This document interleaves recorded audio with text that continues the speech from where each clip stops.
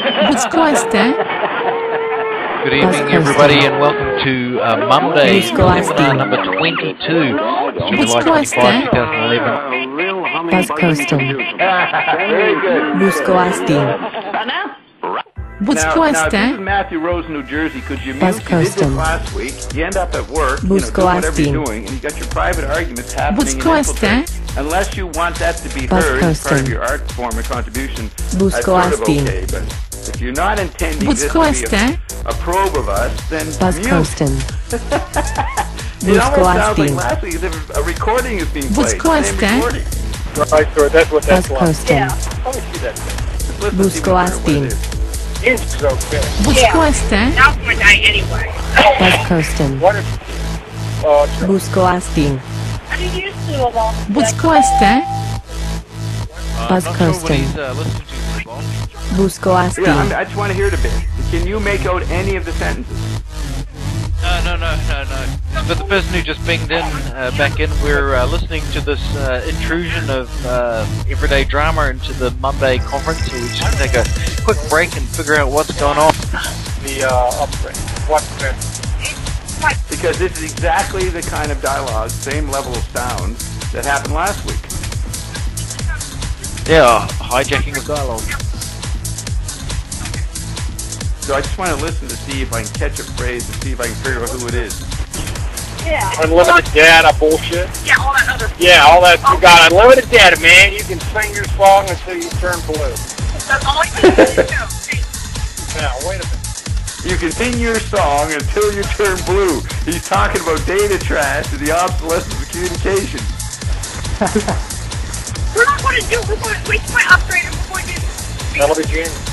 Yeah, but this thing can give us a phone uh, backup that we can use untick anywhere, and in case we lose or something happens. They're asking him to come up with something. Yeah, they yeah, can give me mute. my upgrade, man. Give me my upgrade. I'm gonna have unlimited data. uh, That was beautiful. That's like, uh, Yeah. This is useful. I, I feel after we've talked for this long, I'm listening to uh, um, uh, a Beckett novel or something like that. Yeah, yeah. Someone reacting to what we said. Said, I don't get what these guys are saying. I need an upgrade. Well, we only got hardware here, ma'am. Let's keep listening. Turn blue. you can sing your song until you turn blue. Are you on, boy? Watch enough. What? Eh? Right now? Right now. In Granite's mouth. In Granite, in Granite, in Granite, in Granite, in Granite. But no anal.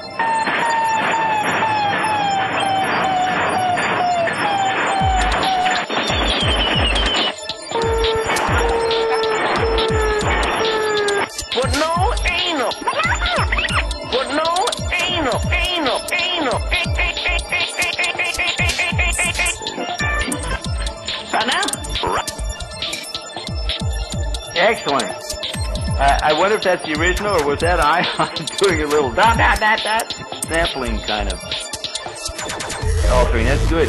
Yeah, I took advantage of it to try to find this uh, private civil consciousness statement. I haven't found it yet, Andrew. So it knocked out the other guy.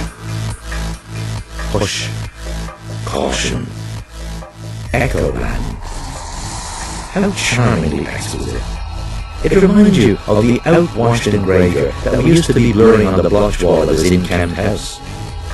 So, how idlers wind turning pages on pages, the leaves of the living in the book of the deeds, annals of themselves, timing the cycles of events, grand and national, bring facile-wise to pass how.